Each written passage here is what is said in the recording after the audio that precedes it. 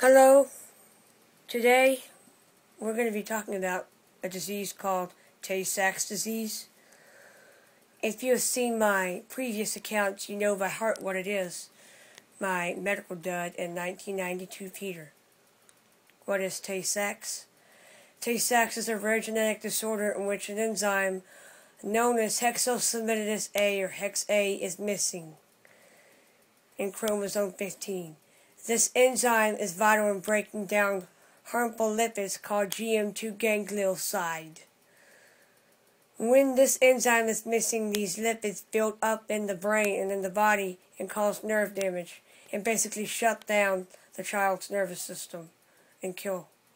Death usually occurs between the ages of 3 and 5. Tay-Sachs disease has three forms. The main one, they are um, infantile, um, which starts in infancy, means um, is where there is little or no, none of the enzyme hexosaminidase A, also known as Hex A. It usually kills between the ages of 3 to 5.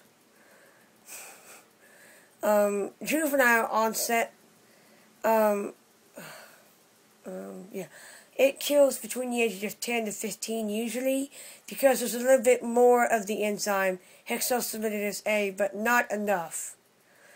Late onset, the least rare form, or the least um, common form, excuse me, um, there is most of the enzyme, but not all of the enzyme is there. Therefore, um, it usually occurs in late adolescence, early adulthood, and is usually doesn't have a altered lifespan.